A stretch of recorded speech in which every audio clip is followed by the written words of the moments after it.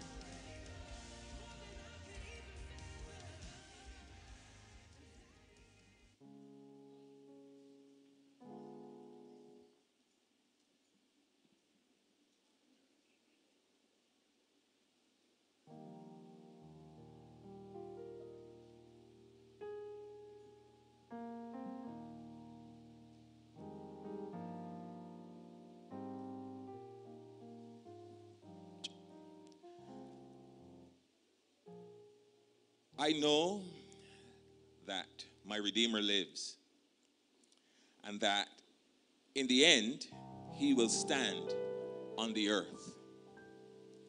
And after my skin has been destroyed, yet in my flesh I will see God. I myself will see him with my own eyes. I am not another.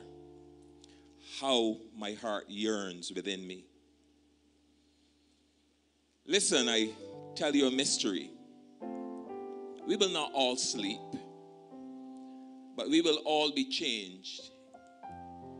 We'll be changed in a flash, in the twinkling of an eye, at the last trumpet.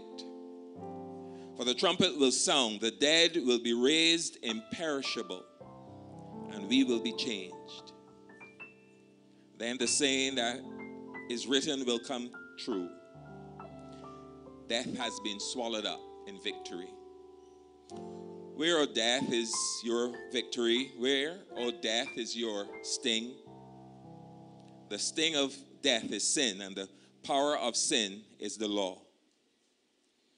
But thanks be to God, He gives us the victory through our Lord Jesus Christ.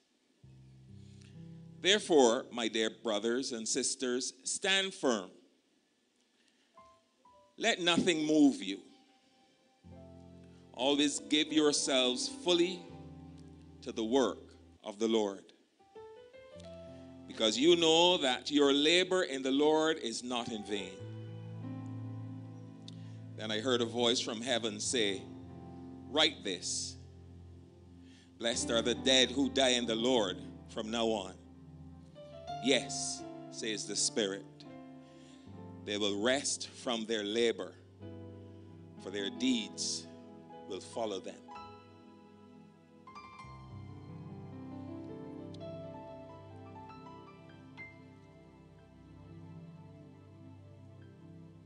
Dearly beloved, we gathered today to pay our final tribute of respect to that which was mortal of our deceased loved one and friend, Gloria Eudora Woodroffe. To you, members of the family who mourn your loss, we especially want to extend to you our deep and sincere sympathy. May we share with you the comfort afforded by God's word for such a time as this. This is the word of the Lord. Do not let your heart be troubled. You believe in God, believe also in me. Jesus says, my Father's house has many mansions. If it were not so, would I have told you that I'm going to prepare a place for you? And if I go and prepare a place for you, I will come again. Jesus also says, I am the resurrection and the life. The one who believes in me will live, even though they die in the flesh. And whoever lives by believing in me will never die. Let us pray. Almighty God, our Heavenly Father, we come into this sanctuary of sorrow, realizing our utter dependence on you. We know, Father, that you love us.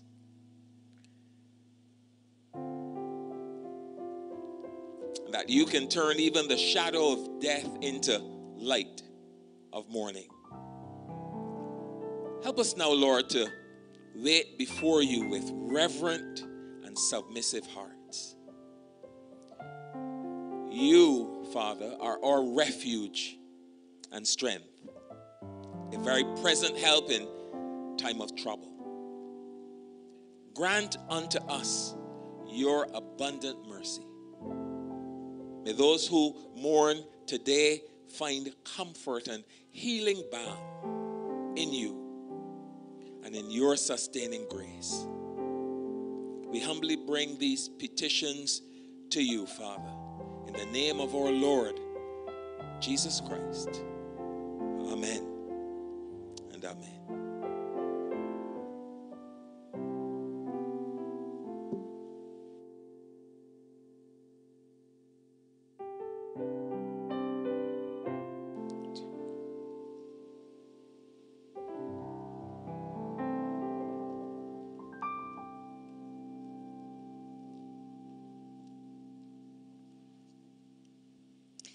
Blessed good morning to all of you. And I do extend my condolences to all you gathered here who are mourning the loss of Gloria. remember, Gloria was a very energetic lady, you know, very spunky. And whenever she, sh- she, she saw me, she would say, How's your mommy? And how's your family? And so on. But Gloria had this blessed assurance and we'll sing that song this morning. Blessed assurance, Jesus is mine. This is my story. This is my song. Praising my Savior all the day long. And this is definitely something that Gloria would do as she worshiped here with us at Western Light. Blessed assurance.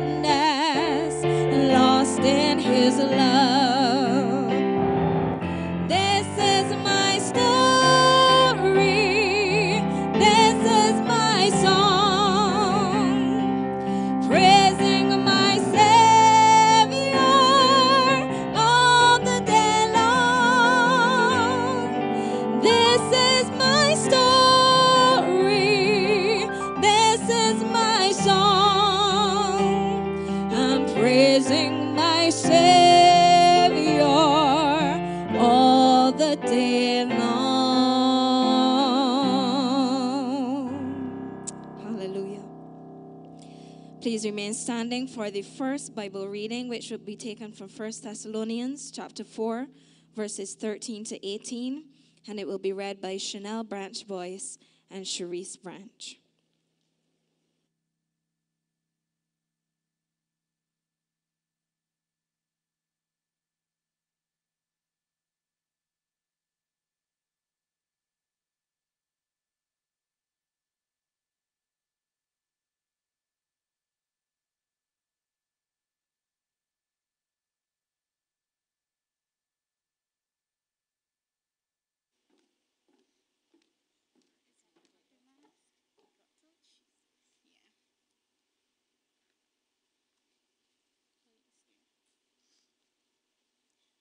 Good morning, church. It's nice to see all of you.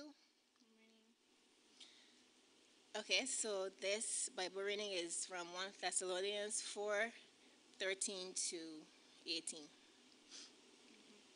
Brothers and sisters, we do not want you to be uninformed about those who sleep in death, so that you do not grieve like the rest of mankind who have no hope. For we believe that Jesus died and rose again, and so we believe that God will bring with Jesus those who have fallen asleep in him. According to the Lord's word, we tell you that we are still alive, who are left until the coming of the Lord, will certainly not precede those who have fallen asleep. For the Lord himself will come down from heaven with a loud command, with the voice of the archangel, and with the trumpet call of God, and the dead in Christ will rise again. After that, we who are still alive and are left will be caught up together with them in the clouds to meet the Lord in the air, and so we will be with the Lord forever. Therefore, encourage one another with these words. Thank you. Amen. You may be seated. At this time, the Titus 2 Sunday school class, of which Gloria was a part of, will pay their tribute at this time.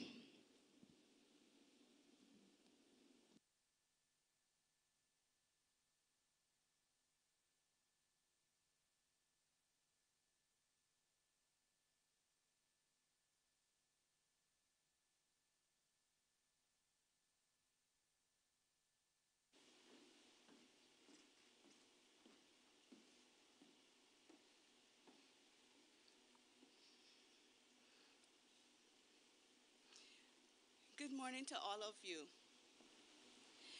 It was with heavy hearts, tears, and disbelief that the members of the Titus Sunday School class and the first Sunday prayer and fast group received the news of the passing of our dear sister Gloria, also lovingly referred to by us at times as Grace. This loss was further compounded by the COVID 19 pandemic and the restrictions that kept us physically apart for the last 20 months or so. Therefore, when we heard of her illness and hospitalization, there was little or no chance of a physical visit. However, we held fast to what we knew best, and that was to lift her up before Almighty God in prayer. Gloria was always well dressed, everything in place her bike, her dress, and her wonderful hats. Her beauty did not stop there, but for us, it also emulated from her heart. Gloria would make her way to the group after the church service, and if she dared to be more than a few minutes late, some members would seek her out and urge her, Come along, Gloria, we're waiting for you. Gloria was an active participant as we studied the Word of God. She regaled us with practical examples of its application by taking us back into the annals of her memory to share her experiences. Always diplomatic, she didn't call names, but condemned sinful activities rather than people. She spoke of the value of forgiveness and as such encouraged us in the best way she could. Like the word says in Titus 2:3, she sought to teach what is good. Our dear sister was charming and witty. She had a beautiful smile and a wonderful sense of humor. When teased by the younger members of the group, she would not be offended, but would cheerfully join in the banter. It was tit for tat, which would cause us to dissolve in laughter. She was the grandmother of the younger group, so to speak, a very cherished member of our family. We remember the love she displayed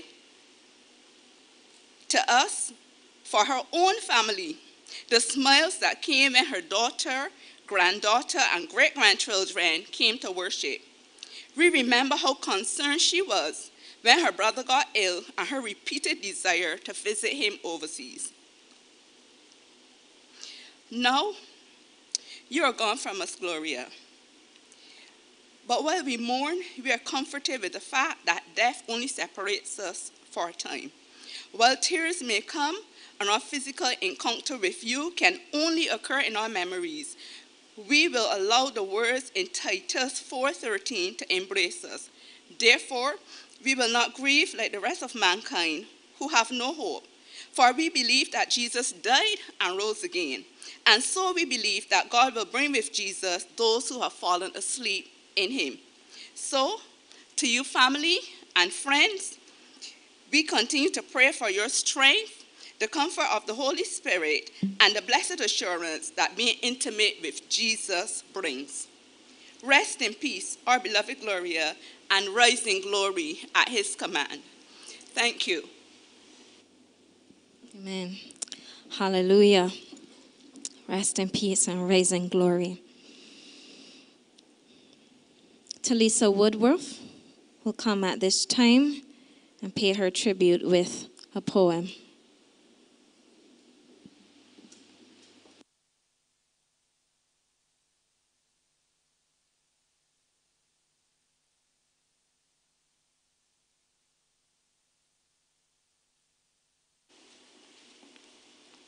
Morning.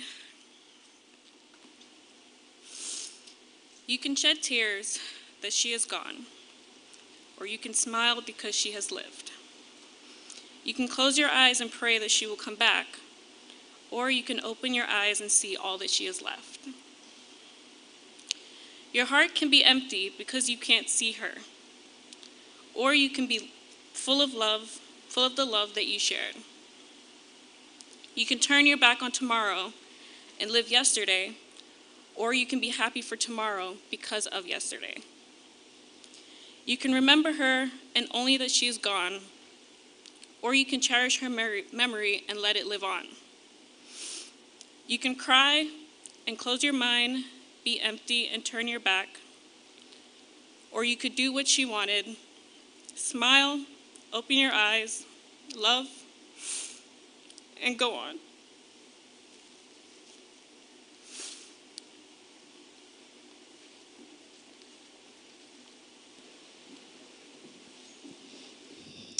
Thank you, Talisa, for that poem. Eric Lewis will come at this time and give appreciation.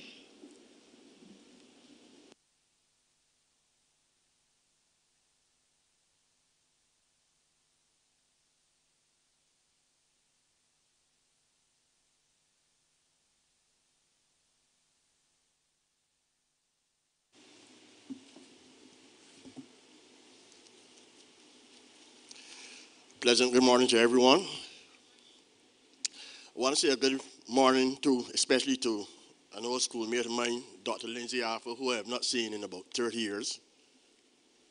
Morning, sir. Now, this, this appreciation or this eulogy was written by Jareen, who's one of um, Gloria's five children. And as part of the extended family as well, I want to begin by thanking everyone for coming here today and thanking all those who sent their condolences. As Jeremy said, we have received countless phone calls, text messages, emails, thoughts, and prayers, and they have all been comforting during this time of our bereavement. Now, Gloria, also known as Dolly by everyone and affectionately known as Grand by her 10 grandchildren and 7 great grandchildren, was born on the 15th of March 1936 to her beloved mother, Delcina Woodroffe, and her father, George Bascom.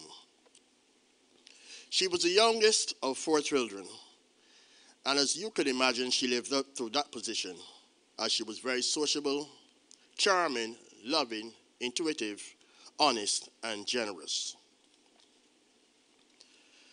Dolly was very sociable and charming indeed. One of her favorite things to do was to go to Cheapside Market on Saturday mornings. Ryan, her grandson, sometimes took her, and he mentioned that all of the vendors knew Dolly.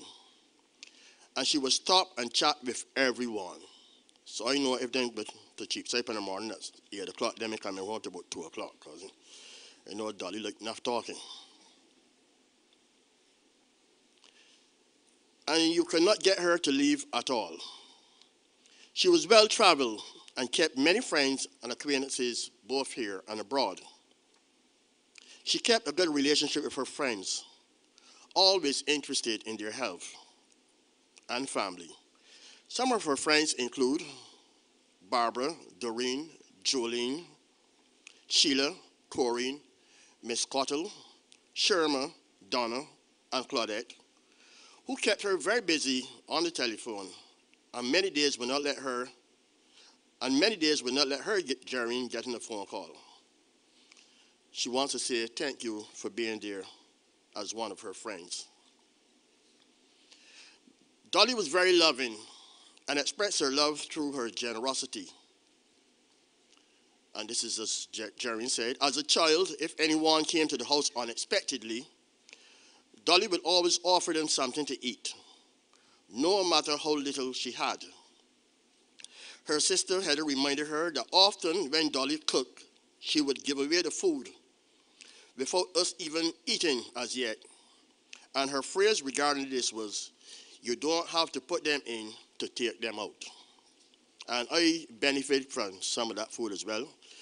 I used to go to St. Stephen's Primary School, not too far from Dolly's house in Black Rock and I learned to time that pot. So I know at about 3.15, that cooked salt, fish and rice would be finished. And I would take a little side step through the back and go by Dolly. In fact, it was at Dolly that the first time I, I, I ate um, brown down chicken steppers. Back then, people used to only do it in soup. And I went there a time and she had some brown down chicken steppers. And they mentioned this to some of the guys I went to school with. And the next evening, they followed me too. And Dolly her as well. She was that kind of person. As her grandchildren would always say, don't let grand, don't tell grand that you like something that she owned because she will reply with, if you like it, go along with it. Heather, who lives in the USA, mentioned that she would often send things for Dolly, and Dolly would give them away. She would give away her last before the thought. So you would ask Dolly, Mom, where do with the um, nightgown I send you? Well, you know, Miss Jones, they're going to the hospital, so I get you the nightgown. Mom, where do with the belt I sent for you? Well, you know, Dorothy had the belt to wear church last Sunday, so I get you the belt. She was that kind of a person. Very intuitive and a good judge of character, always giving advice to her children, grandchildren, and any person who sought her advice. She was blessed with the gift of dreaming and interpretation of dreams, which she handed down to her children and grandchildren. And, I find this part here extremely very close to me because my mother would tell you that I have that gift of dreams.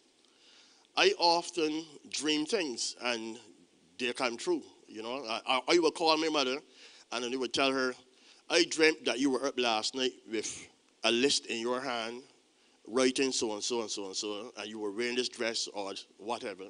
And she would tell me, yes, at 2 o'clock I was up working out so and so and so. So, so when I read this part, it really hit home to me.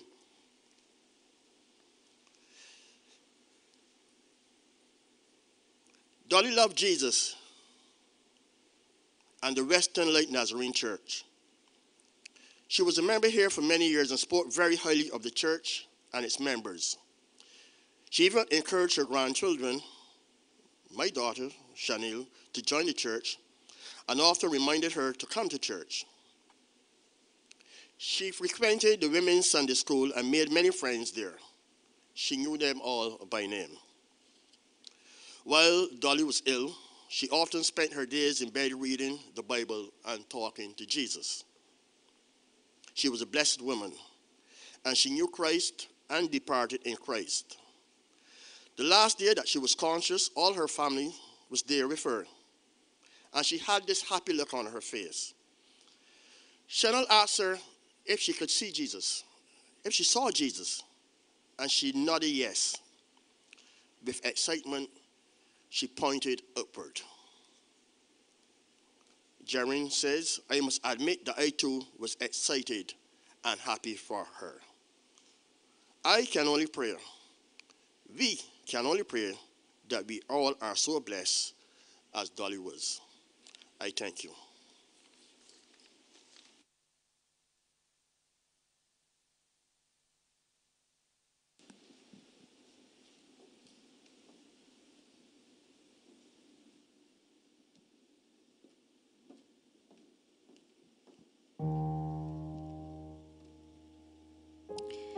Beautiful memories there of Gloria. Thank you, Mr. Lewis. Let's all stand, as we sing this song, How Great Thou Art.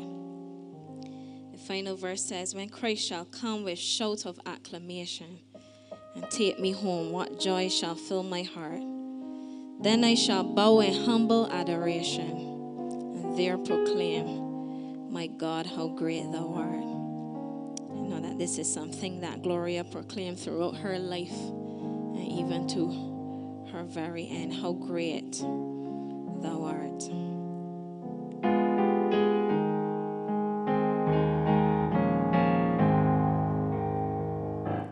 Oh Lord, my God,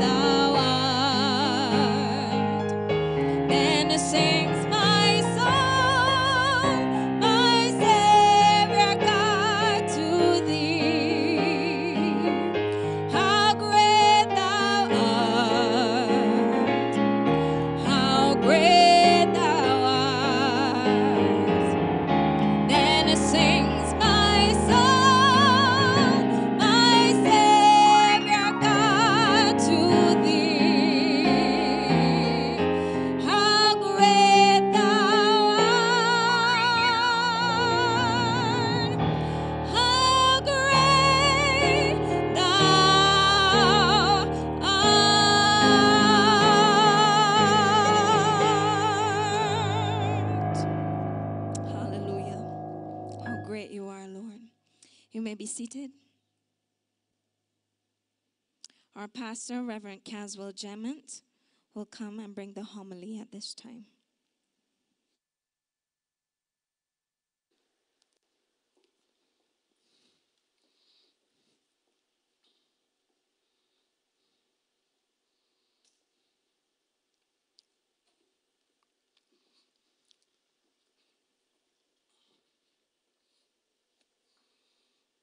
Blessed good morning to all of you. Let me say on behalf of the Western Lake Church of the Nazarene, we offer our deep and sincere sympathies to family of Sister Woodroffe. It has been a while because of COVID since we've been able to, to see each other in person, but I want to say that God is still the one who stands by us in all our troubles and all of our situations.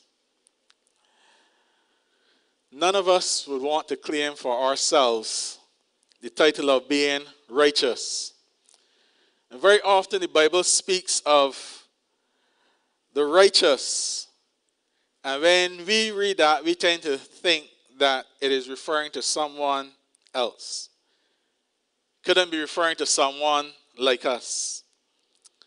In one sense, we are right, we are correct. Because compared to God Almighty, the one who always does what is right and who is pure and holy, we cannot claim to be righteous. Indeed, the psalmist in Psalm 142, 43, verse 2 says, No one living is righteous before you, because none of us can compare to God. But on the other hand, the Bible tells us that we can be righteous. In the Old Testament, righteousness involved conformity to God's law. If you are able to keep the law of God, you are considered to be a righteous person. But in the New Testament, we are told that righteousness does not now come by observance or keeping the law of God. So righteousness is not on the basis of anything that we can do, but it comes on the basis of what God has done for us in Christ Jesus.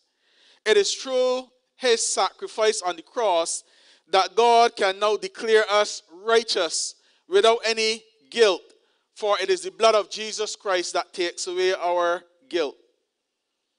But more than that, God acts to actually make us righteous.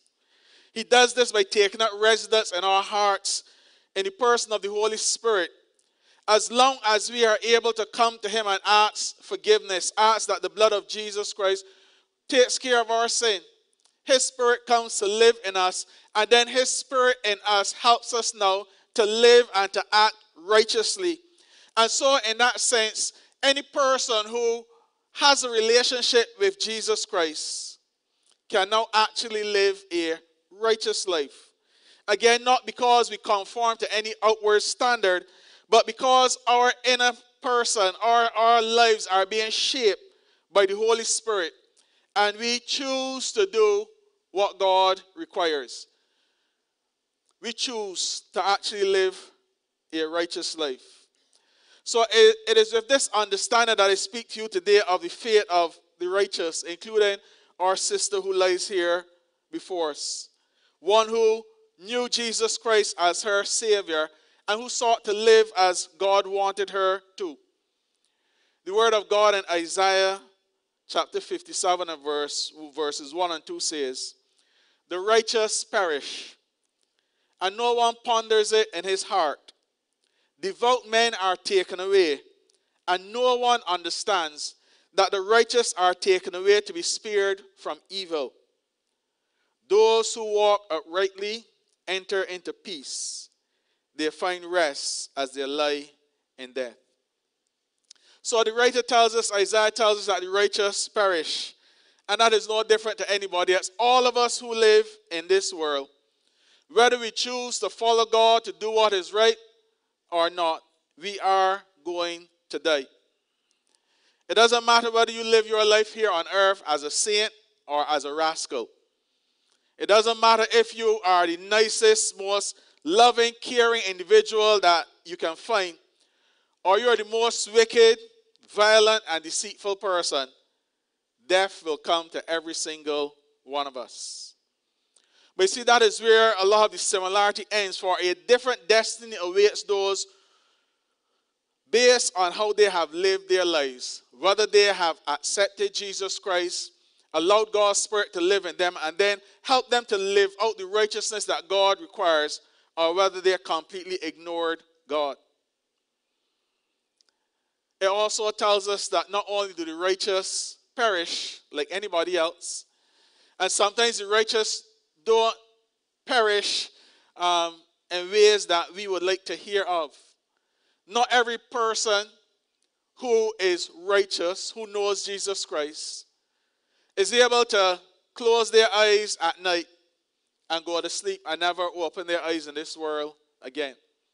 Several weeks ago, we had a fatal accident in the Black Rock area.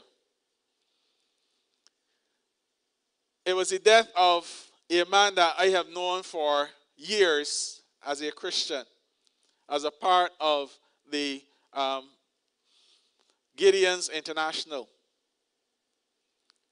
But he died in a very violent manner. Our sister was able to close her eyes, lie down, not open them. There are people who know Jesus Christ who are righteous who are killed. Not everybody perishes in the same way, but everybody perishes because death is the destiny of all men. But Isaiah goes on to say the death of the righteous is of little concern to a lot of people. Nobody is disturbed by the death of a righteous person or, or don't seem to be concerned about it, apart from the family and close friends, those who may have known the person well. Very often in our world, we hear of the death of persons and it is just news. News because we had no acquaintance with the person. We never shared experiences with them. And so it is just a news item for us. I'm sure that many of you listen to the death announcements on mornings. Or you read in the newspapers of those who have died. I remember years ago, I never would listen to death announcements on the radio. Didn't want to hear. Wouldn't look in the newspaper. When I got to those pages, I would flip by them. There's not a Sunday now that I don't look in those pages. Because I have come to the understanding that one day my picture is going to be there and something said about me. Because we are all going to die. But we read those pages and we look for people that we know. The others, we don't really pay much attention to. Sometimes we look to see whether it's somebody from our neighborhood who has died or somebody who we know in the past. But there's so many in the newspapers who we don't know, and we're not that concerned about them. Isaiah says here when righteous people die, for many people, it's not a calamity, it is not a tragedy, it is just something that happened. But when a righteous person is, is taken out of this world, all of their prayers, their example,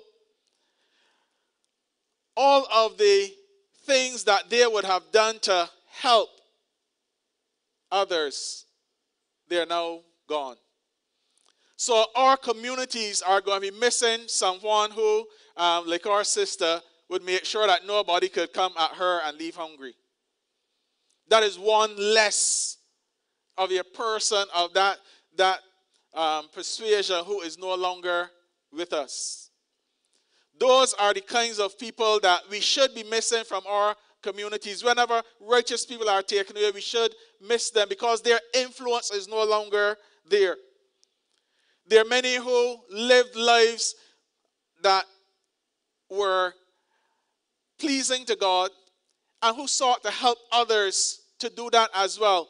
So they would be the ones in our communities who, when the guys would get out of hand, would sometimes call them and talk to them. Would sometimes share with them a word as to the direction of their lives.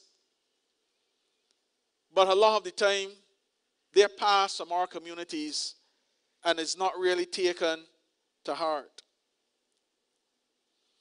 Sometimes, though, people are glad that they're gone because they don't have someone any longer to point out to them that they're doing things that are wrong, that they're headed in the wrong direction. They didn't like the rebuke that they got, and so they're quite happy that the person is gone from the community. But when you think of it, think of how many families are torn apart or have fallen apart after the death of a godly mother or father. The person who was there to give guidance to that family is no longer there. How many children have become wayward after the death of a, a, a Christian parent or a loved one who sought to lead them along the right path? So the righteous perish. And sometimes people pay little attention to it. But Isaiah also says here that the righteous are taken away from the evil to come. Because they're being taken out of the world is one of God's protective measures for them. Yes, for the family who is left, they don't, they don't see that. But God is aware of all that could happen and all that will happen. And as part of his protection of his children, Sometimes he removes them from this world. Christians very often are removed in order that they may not be exposed to the evils that they would experience should they live. Some of them are taken away so that they may not go through some of the extreme pains of sickness and injury that we see in our world. Some of them are taken away so that they do not have a long and lingering illness an illness that may produce for them poverty because the, the, the bills would take all of the funds that they have. God may take them because of the, the prevalence of, of sin and wickedness over which their hearts would bleed. He takes them away so that they don't have to see the, the heartache that would come sometimes to family members who are astray from God. Sometimes He takes them away from long and painful conflicts. And sometimes God takes His children to ensure that they do not fall into sin and eventually dishonor their high calling. You see, for some or all or, or all of those reasons, Christians may be withdrawn from this world. And if we could only see the reasons why they are taken from this world, we would be more willing to say when our loved ones die, Lord, your will be done.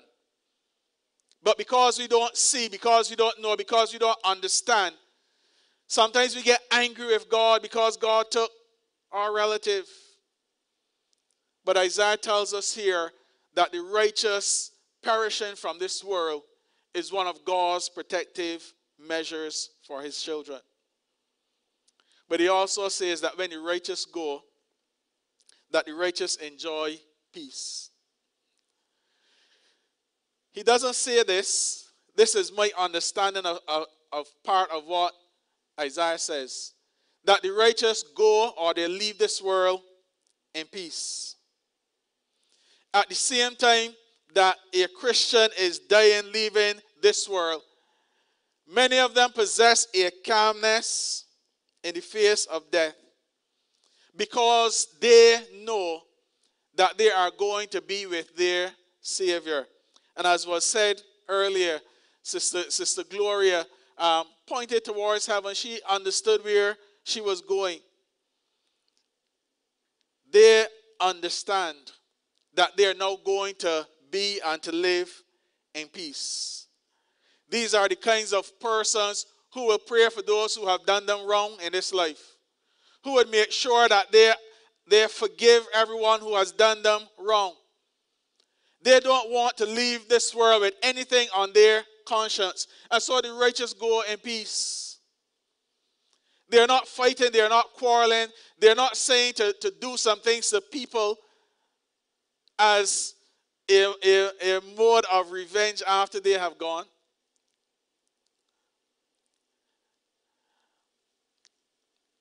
If you have read in the historical books in the Bible, you'll read of David. Remember when David was dying? What he told to Solomon? David gave Solomon a list of persons to one, he said, Don't let his gray head go down to the grave in peace. That was Joab. He told him to make sure that another guy never, never um, left Jerusalem. But again, he was able to say, Solomon, here, here is this list of persons. These are people who have done wrong in this life. Take care of them.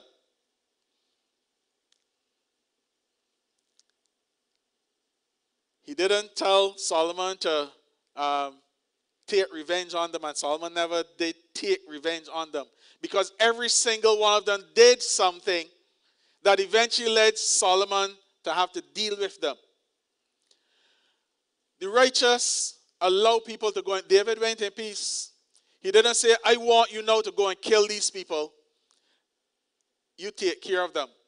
And he was able to take care of um, Joab and Shimei and those who had done wrong eventually. Because during Solomon's early reign, they did some things that said to Solomon, if you are not careful, they would take your throne. But the righteous are able to allow or to go in peace because they're not asking for revenge on persons. They're not leaving with their children a legacy of anger and hatred. They're able to let people go because they are comfortable and confident that God is going to take things into his hands. The righteous go in peace. I am yet to hear of a person on their deathbed who knows Jesus Christ as Savior, shouting and screaming as the moment of death approaches. I don't know about you, but I don't know of any. Many of those who know Jesus Christ can testify to the presence of God with them as they are leaving this world. I remember always the, the um, experience of, of one person, and they were talking about a family member as they were dying.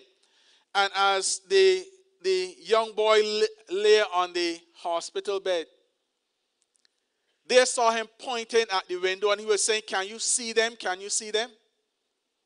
And he was telling that he was seeing the angels coming for him, but those who were in the room, they, they, couldn't, they couldn't see. He was able to go joyfully even at his young age. He was able to go in peace. Many Christians, as they, they prepare for death, they, they sing softly or they hum softly. They cry, yes. They cry, many of them, because they are leaving their loved ones behind. But they also know that to be absent from the body is to be present with the Lord. And so they are able to say in their heads, forever with the Lord. They know the words of Revelation chapter 21, verse 4, that says, God will wipe away every tear from their eyes and there will be no more death or mourning or crying or pain, for the old order of things has passed away. But on the other hand, many who don't know Jesus Christ, they cry, sometimes scream as the moment of death approaches, for they sense the darkness of where they are going. Some see the darkness, others sometimes it seems as if they are feeling the flame but they know that they're not going to a place of peace, but to a place of torment. But not only do the righteous go in peace, it says the righteous also enter into peace. The righteous leave this world of troubles and trials, of sickness and of pain, and they go to a place where all of that is past.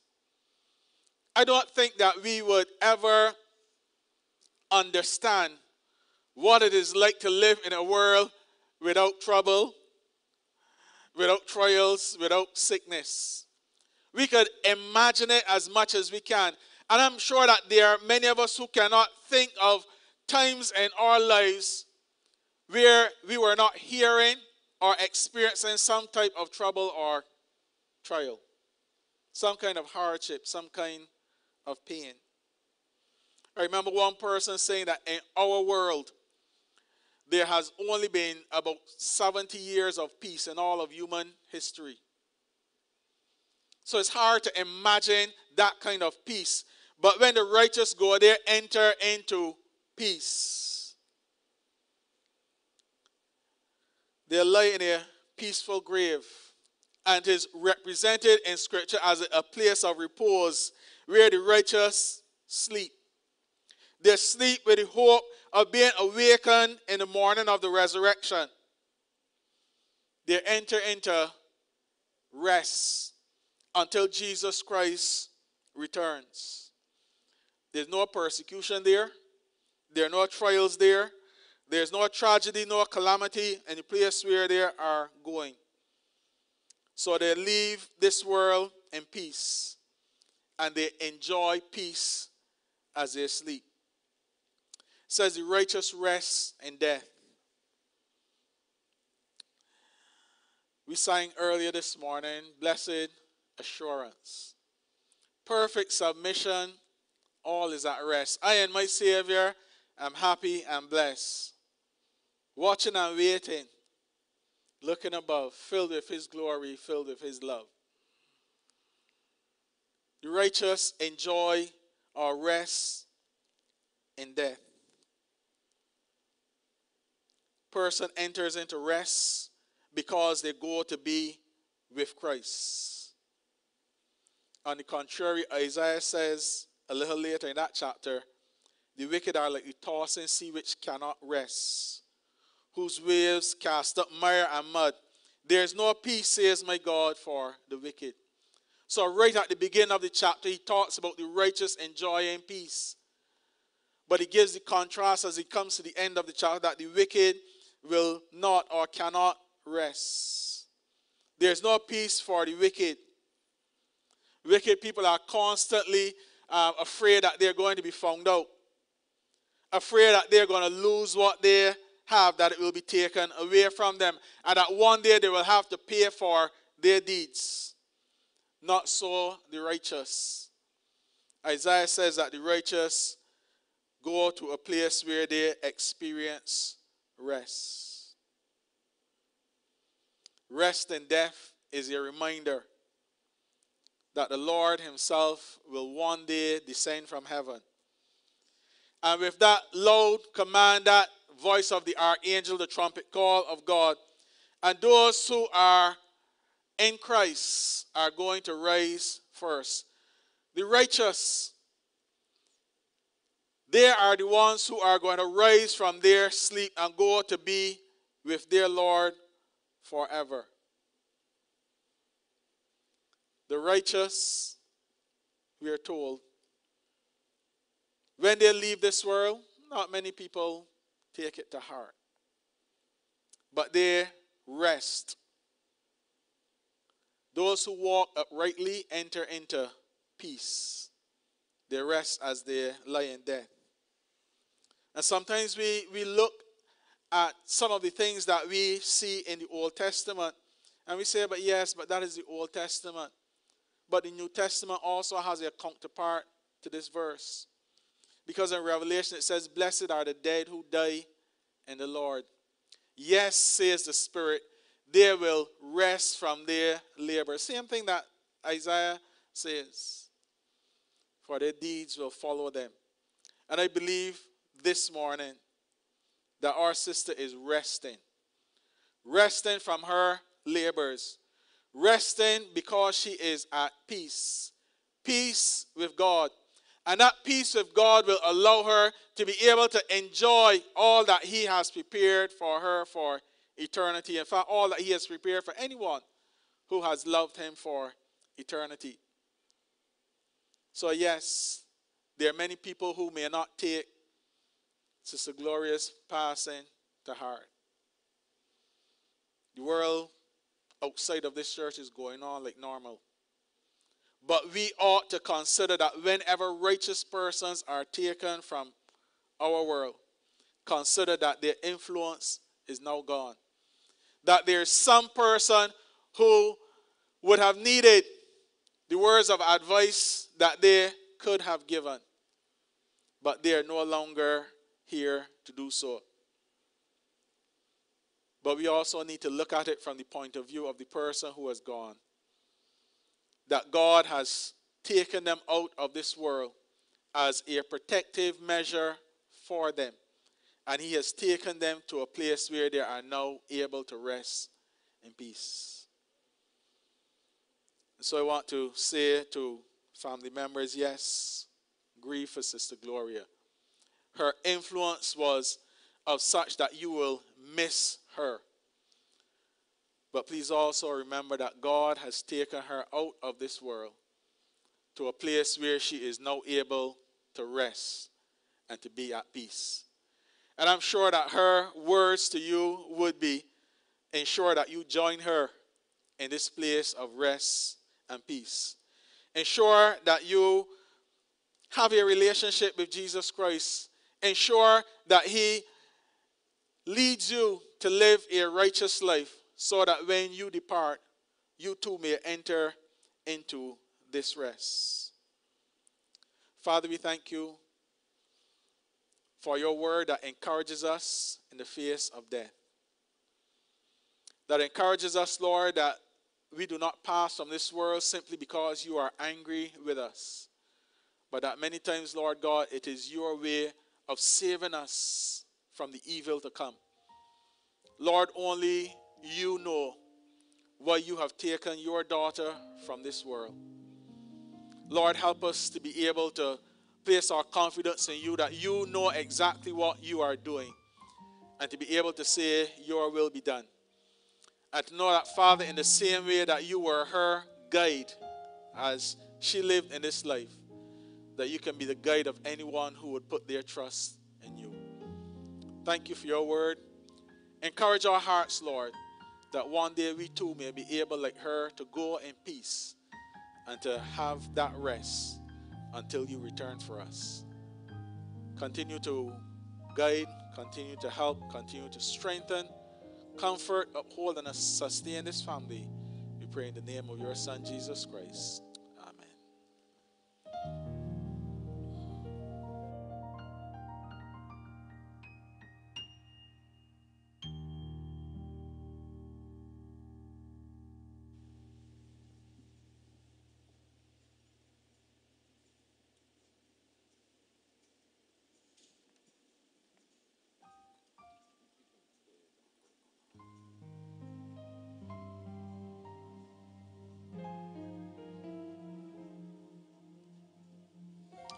The Lord.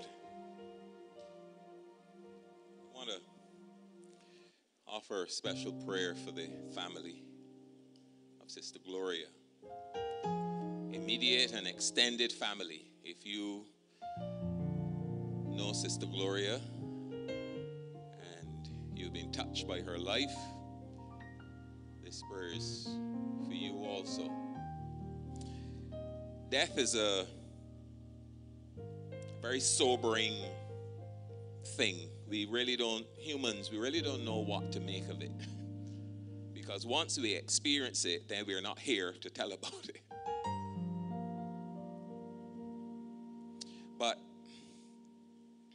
there are a few things that we, we know we can say. And I would encourage you, the family, to think on these things. We, we are physical beings. We're physical beings. We have hands and feet and so on. But we're also emotional and spiritual beings. And we realize how tender we are, especially at moments like this. We sit and we reflect and we remember the salt fish and rice and chicken steppers and the gifts, the things that you give to a person and that, and that they gave away. Those are the things that we remember. And for this reason, when someone dies, the sense of loss goes beyond just physical separation. It's not limited to physical separation. There's something else that seems to be taken out of us. Sister Gloria lived and she believed. She lived Christ and she believed in Christ. So, as we have come today to celebrate Sister Gloria's life, it actually is impossible to celebrate her life without celebrating her faith. Her, her life and her faith it was all bound up, wrapped up, one and the same thing.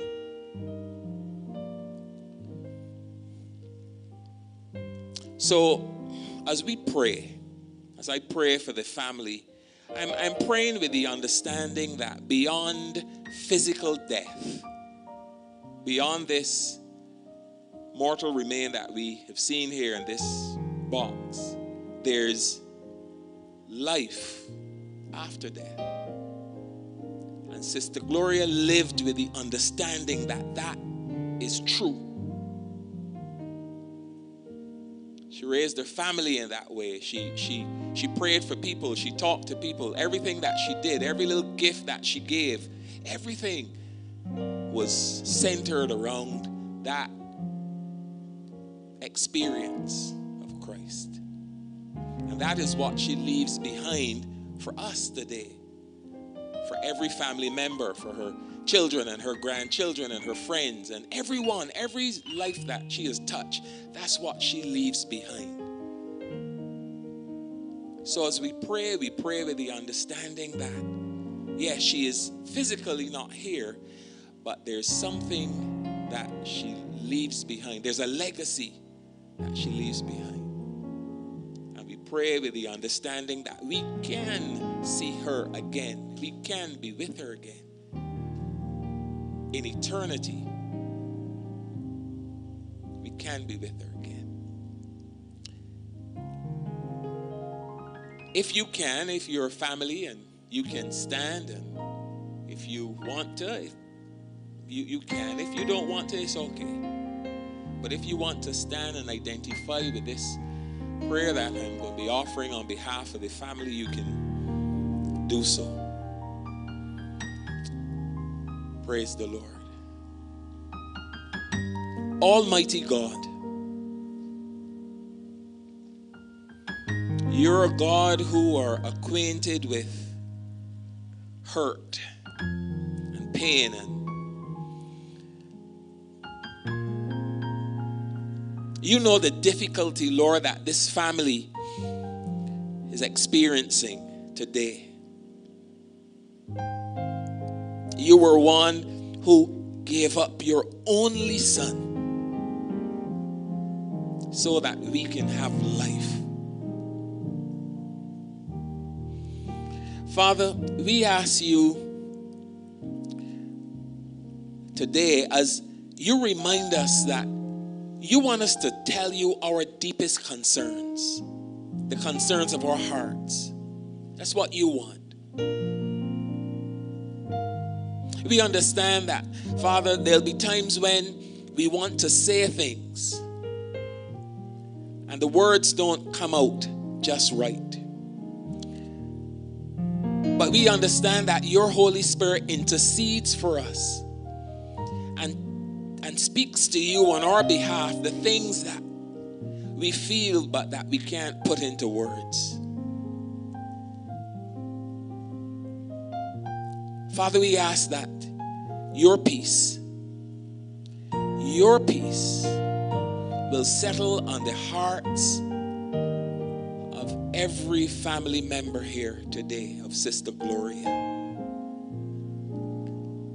We pray that that peace, which is long lasting, which is everlasting, will stay with them today and tomorrow and next week and next month and next year and the years ahead.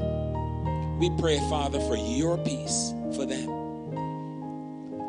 We ask, Lord, that you would comfort them, especially her children and, and grandchildren, and every member of this family and every life that she has touched. Even those who were friends with her, maybe from a distance. We ask you, Lord, that you wouldn't leave them out of your comforting. Lord, strengthen them Strengthen their hearts for the journey ahead without Sister Gloria, who was so many things to so many people. She was mother, auntie, and sister, and cousin, and friend, and Bible student. You, Father, you are Yahweh Shalom the Lord is peace, who brings true peace to those who are in right relationship with you. Father, I ask that you would refresh and remind this family that they can turn to you in their moment of mourning. They can talk to you, not with fancy words, but they can talk to you sincerely. They can tell you they can reach out to you and grab a hold of you and talk to you about the pain of the separation that they feel. Let them do this, Father. Let them come to you. I pray for your grace, your enabling grace for this family as they look to you for the answer. And Father, wherever possible, and you so desire, help them to, to remember that they can look to us, your church, for help, for encouragement on the journey that lies ahead. Father, we intercede for them. And we ask you these things for them and on their behalf. In the name of Jesus, we pray with thanksgiving.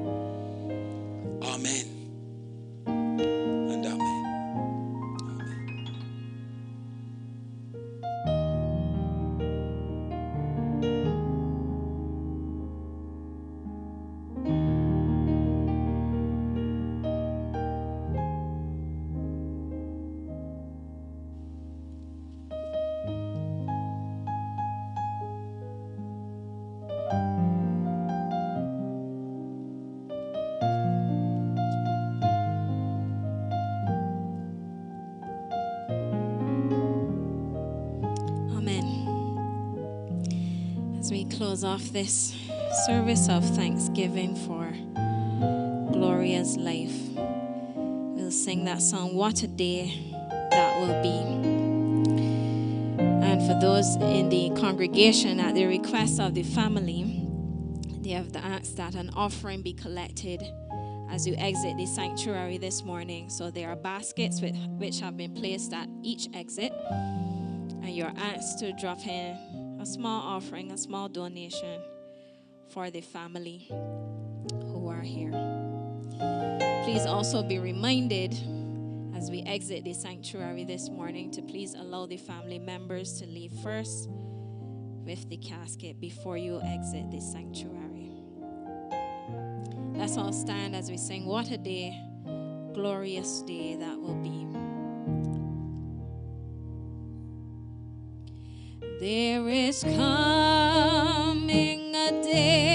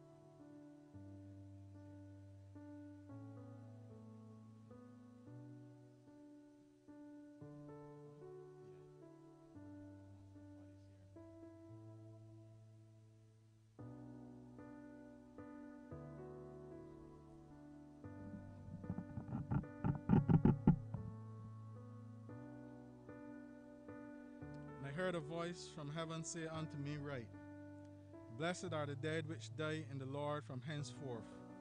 Yea, saith the Spirit, that they may rest from their labors, and their works do follow them.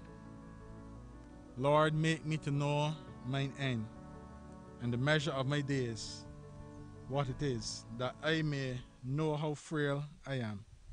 Behold, thou hast made my days as an handbreadth, and my age is as nothing before you.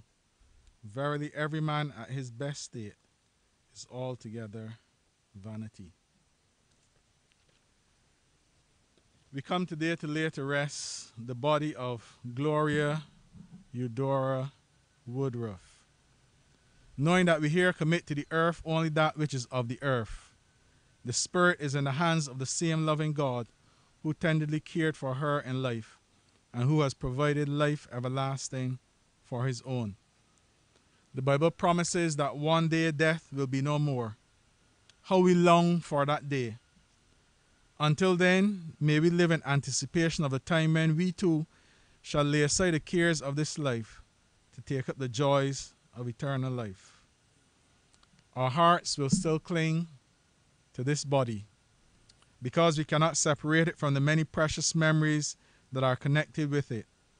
However, let us look forward with hope to the time when we have been carried across these same portals and will be able to say good morning again in the land where death will be no more. For as much as it pleased Almighty God in His wife's providence to take out of this world the soul of our sister, we therefore commit her body to the ground, earth to earth, ashes to ashes, dust to dust, looking for the resurrection at the last day and the life of the world to come through our Lord Jesus Christ, at whose coming to judge the world, the earth, and the sea shall give up their dead. The bodies of those who sleep in him shall be changed and be made like his glorious body, according to that power by which he is able to subdue all things unto himself. As Gloria lived in your fear and died in your favor, may she now rest in your peace, rise in your power, and reign with you in your glory. Shall we bow our heads? Almighty God, source of life and breath, Father of our Lord Jesus Christ, who gave himself that we might have eternal life. We thank you for those who have finished their course and have kept the faith and who rest from their labors. As we commit this body to the ground, we do so in perfect trust, remembering Jesus' own victory over death and his promise that because he lives, we also will live. Comfort our hearts through his word. Strengthen us now with his presence, and may your grace and peace be ours, both now and forever. Amen.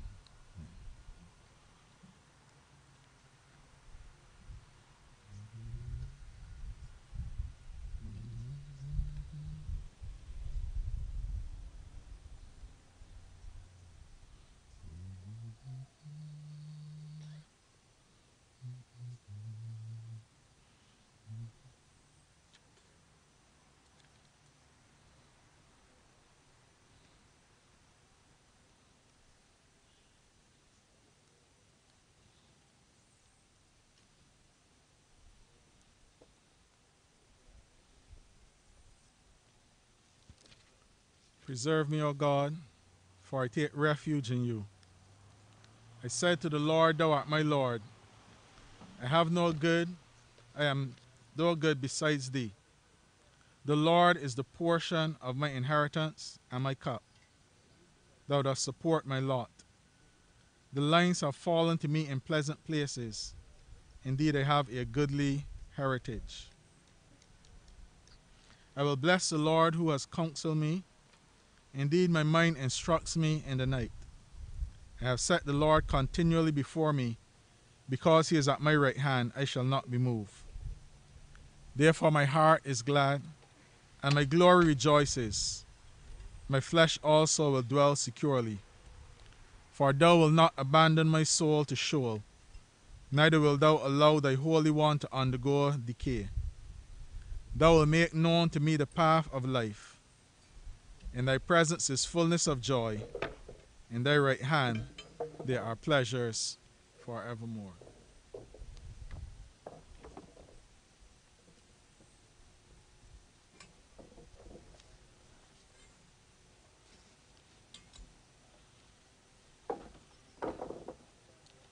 Song It Is Well with My Soul.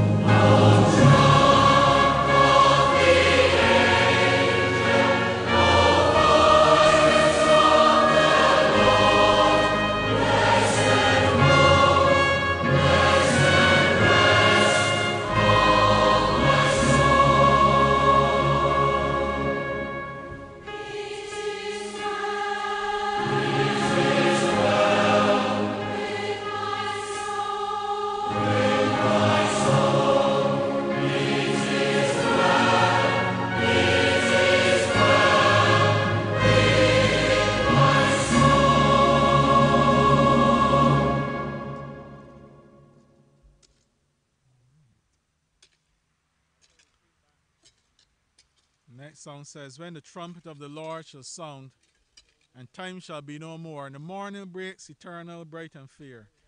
When the saved of earth shall gather over on the other shore, the roll is called up yonder, I'll be there. When the roll is called up yonder.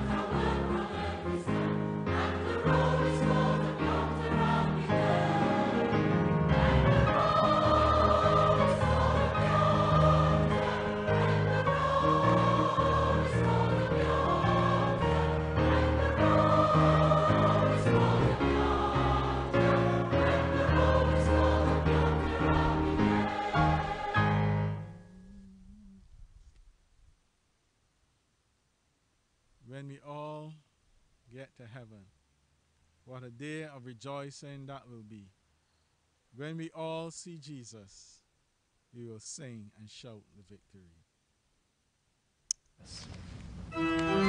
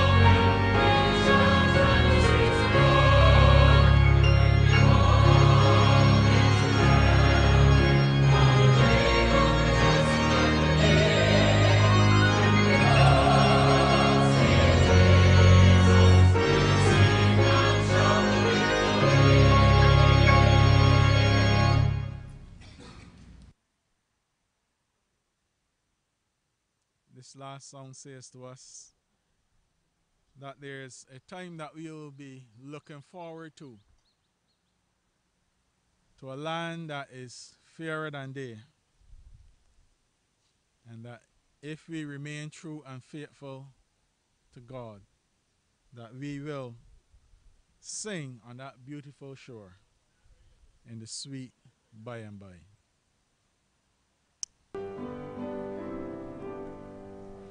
There's a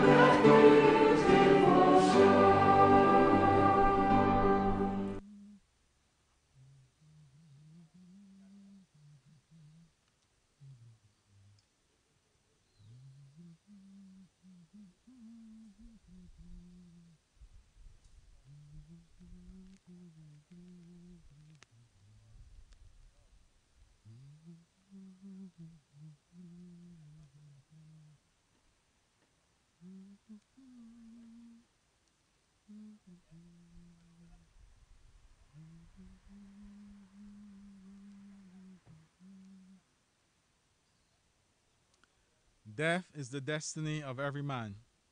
The living should take this to heart. As there is neither working, nor planning, nor knowledge, nor wisdom in the grave where we are going, and as we know that we shall someday die, let us here consecrate ourselves to do with our might what our hands find to do. And may our trust be in him who said, I am the resurrection and the life. He who believes in me shall live even if he dies, and everyone who lives and believes in me shall never die. Shall we pray? Our Father and God, here in the presence of death, we know that you are the source of life, and that our very breath is a gift from your hands. We thank you for the comfort we receive from your presence, and ask that you hear us now as we call on you for strength and consolation in this time. As we try to mend the broken threads of our lives, we turn to you. May we live each day in the awareness that we too shall walk through the valley of the shadow. May our hearts be open to your word and our lives be lived in your service until that day when we step from this life into the life to come. Through Jesus Christ, we pray. Amen. And now may the grace of our Lord and Savior Jesus Christ, the love of God, and the fellowship of the Holy Spirit be with us all now and forevermore. Amen. May God bless and comfort you and go in peace.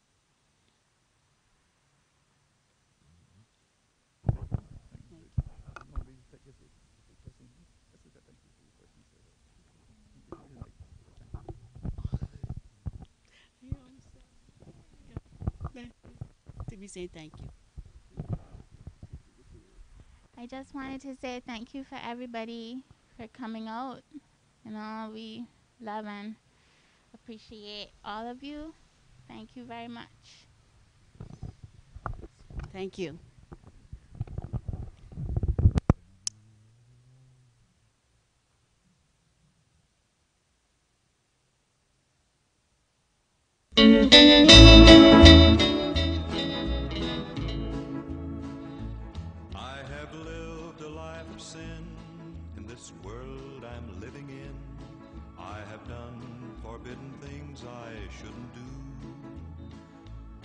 Ask a beggar along the way if he could tell me where to stay, where I could find real happiness and love that's true. Across the bridge, there's no more sorrow. Across the bridge, there's no more pain. The sun will shine across the river, and you'll never be unhappy again.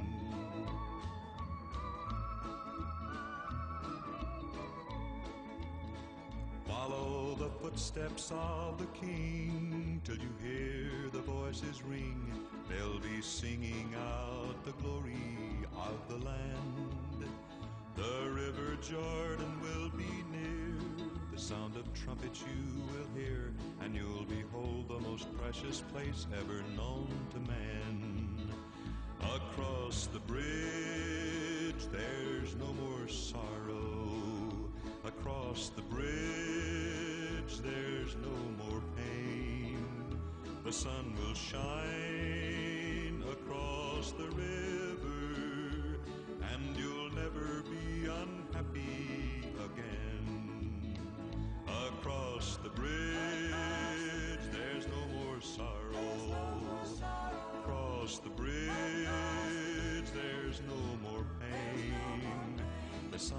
shine